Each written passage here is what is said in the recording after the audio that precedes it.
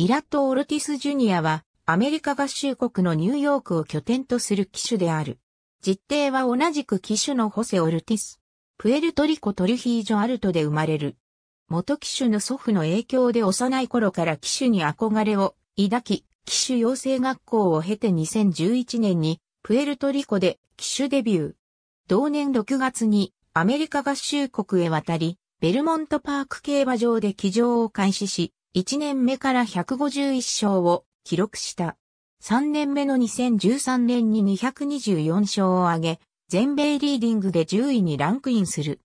2014年には290まで勝ち星を伸ばしてベスト3に入り、トップジョッキーの仲間入りを果たす。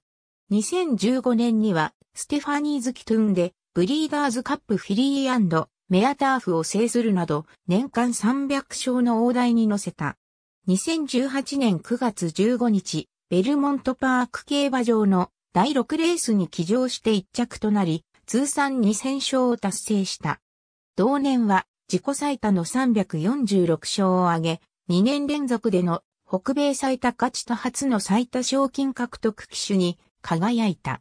2019年、2020年シーズンも北米最多勝ち及び最多賞金獲得機種を獲得している。弟のホセよりもあぶみを短くして高い位置で騎乗するスタイルである。太字は米国クラシック競争及びブリーダーズカップ競争。ありがとうございます。